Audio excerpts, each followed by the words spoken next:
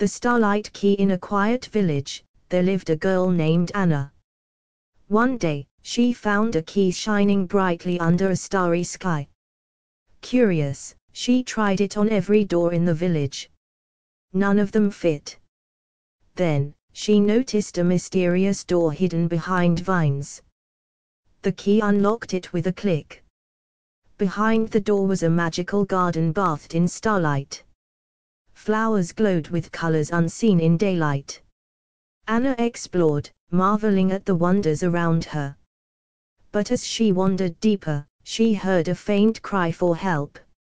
Following the sound, she found a trapped fairy. With the key, she freed her. Grateful, the fairy granted Anna a wish. She wished for happiness for everyone in the village. The next morning, the village was filled with laughter and joy. Anna realized that the real magic was in helping others. From then on, she kept the key close, a reminder of the kindness and wonder in the world.